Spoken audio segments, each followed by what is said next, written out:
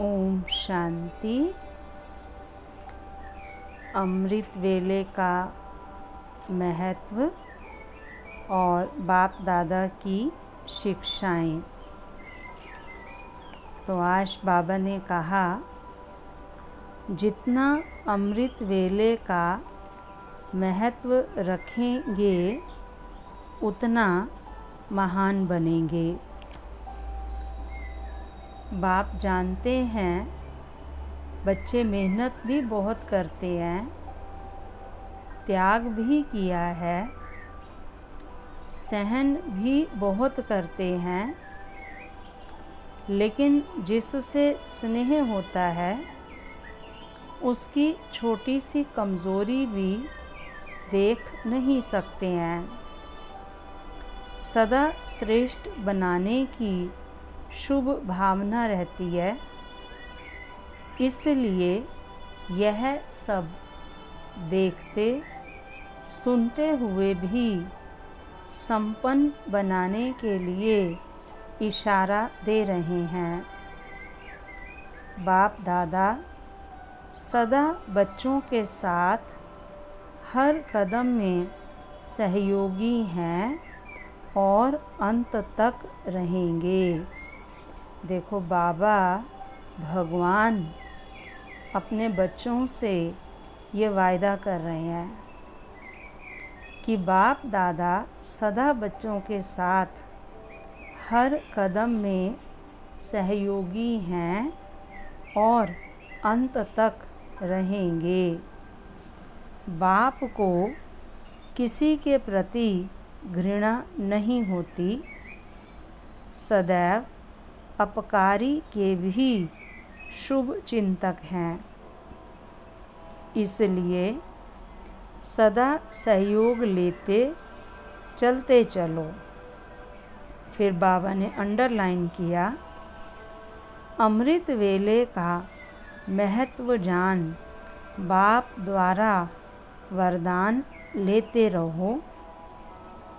हरेक बच्चे के साथ सर्व स्वरूपों से सर्व संबंधों से बाप दादा का सदा हाथ और साथ है। अभी ड्रामा अनुसार समय मिला है। यह अपना लक समझ, समय का लाभ उठाओ। विनाश की घड़ी के कांटे आप हो। कांटे मीन्स सुई।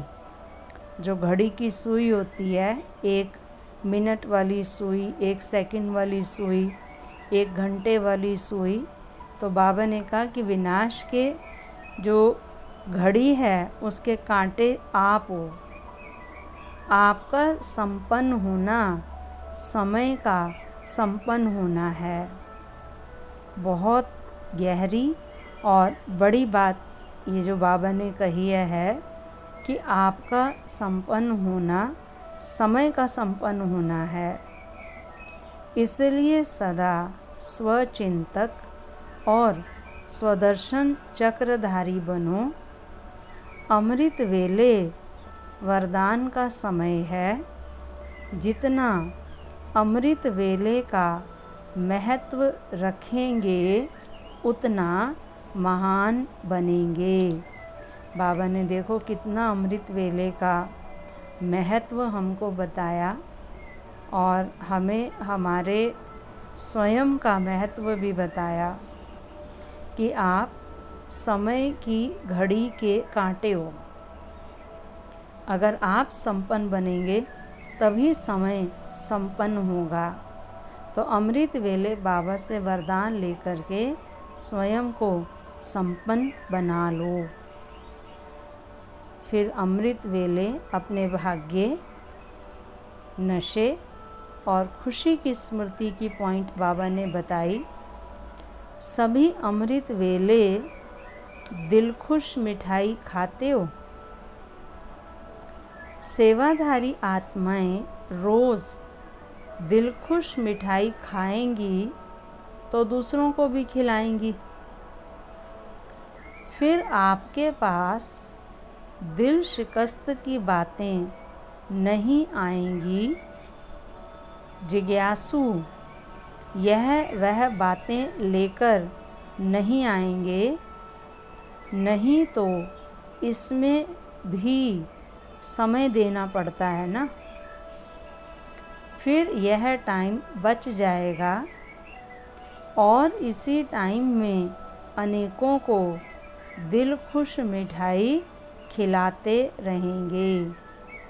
बहुत सुंदर बात कही बाबा ने कि अमृत वेले उठते ही अपने आप को कौन सी मिठाई खिलाओ? दिल खुश मिठाई। हम्म, दिल खुश मिठाई बाबा ने कहा खिलाओ। और दूसरी बात बाबा ने इसमें कही जैसे बाप जैसा कोई नहीं वैसे आपके भाग्य जैसा और कोई भाग्यशाली नहीं। ये बात बाबा ने अंडरलाइन की है। बाप दादा का स्नेह अवश्य समीप लाता है।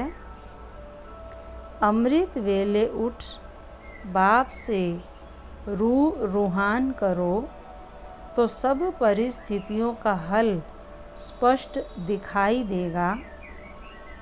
कोई भी बात हो, उसका रिस्पॉन्स रू रिहान में मिल जाएगा। मधुबन वरदान भूमि से विशेष यह वरदान लेकर जाना तो और भी लिफ्ट मिल जाएगी। जब बाप बैठे हैं बोझा उठाने के लिए तो खुद क्यों उठाते? जितना हल्का होंगे, उतना ऊपर उड़ेंगे। अनुभव करेंगे कि कैसे हल्के बनने से ऊँची स्टेज हो जाती है। बहुत सुंदर बात कही बाबा ने, क्योंकि अभी आत्मा बोझिल है तो वो उड़ नहीं सकती है। और जब सारा बोझा अमृत वेले बाबा को दे देंगे तो हल्के हो जाएँगे। और हल्के होकर उड़ने से जो ऊँची स्टेज का अनुभव होगा, बाबा ने कहा, वो आपको और भी आनंद देगा। इसलिए अमृत वेले अपने सारे बोझ बाबा को देकर के स्वयं हल्के होकर के उड़ो। फिर है अमृत वेला और साकार बाप दादा के महावाक्य। बाबा ने कहा, जो बाप का मुख्य फरमान है, अंडरलाइन किया बाबा ने इस बात को। बच्चे अमृत वेले उठकर बाप को याद करो। इस मुख्य फरमान को पालन कर सवेरे सवेरे फ्रेश हो। मुकर्र टाइम पर याद की यात्रा में रहो, सपूत व फरमान बरदार बनो, तब जाकर राजा बनेंगे। कपूत बच्चे तो झाड़ू लगाएँगे। तकदीरवान बच्चे सवेरे सवेरे उठकर बाप को बहुत प्यार से याद करेंगे। बाबा से मीठी मीठी बातें करेंगे।